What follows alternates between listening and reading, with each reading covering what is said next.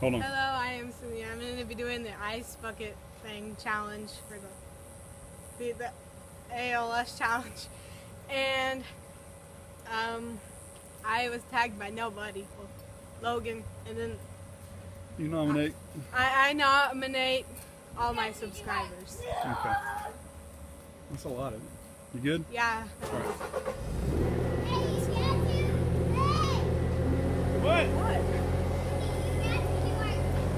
Okay. Don't look at it. You might get hit with a piece of ice in the eye. Raise your eyes and don't look up.